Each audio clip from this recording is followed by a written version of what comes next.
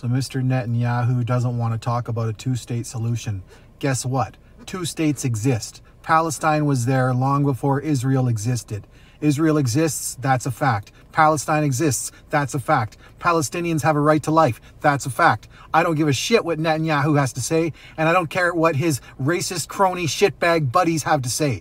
I give shits less and less for those guys, okay? Hamas can suck my dick, and so can Netanyahu. So the whole bunch of them should lose their funding. Iran, stop funding Hamas, and the United States should stop funding Netanyahu. He's a rogue leader, and so is Hamas. The whole shit situation is going to blow up into World War III unless the whole bunch of you get your heads out of your ass.